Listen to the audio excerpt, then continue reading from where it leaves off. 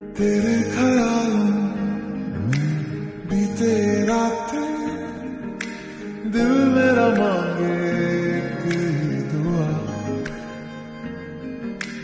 तू सामने हो और करूँ मैं बातें। लम्हा रहे